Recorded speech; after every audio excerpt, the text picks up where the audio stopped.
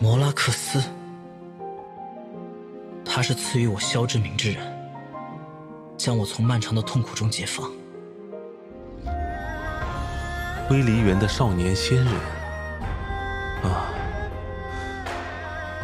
直至今日，他仍在履行他的职责。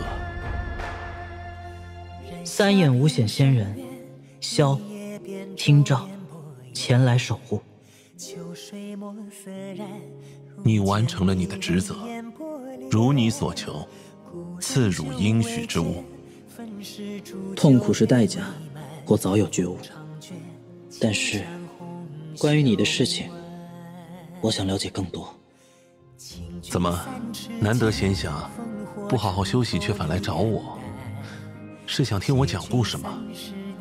嗯，请问钟离大人，平日里都在呃遛鸟、赏花、品鉴古玩？钟离大人做这些是有什么深意？我自知将要退下七神之位，又岂能不对未来的新生活稍作预演？不一起来看看吗？虽然这种时候已经错过了云先生的戏，但夜晚的璃月仍有许多好去处。嗯，倒是有盘不错的店。我对人间的食物并无兴致，唯独杏仁豆腐和美梦非常相似呢。所以这次我给你点了一碗酒酿圆子。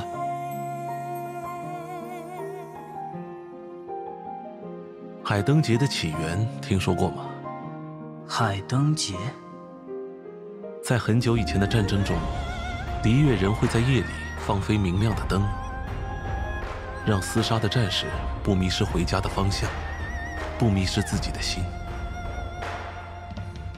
得闲时在城内散步，就能让我心安不少。嗯，这种心情是从何时开始？我的枪音早就吐露了无尽的怨魂，连我本人不免也被黑暗吞噬。你却敢于驱使这样的我，将我当作……你是想要救赎我吗？为何如此执着呢？我们之间的关联已经太多了，即使你想要放弃，也来不及了吧？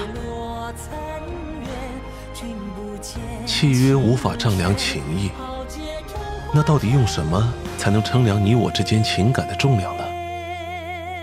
你知道答案吗？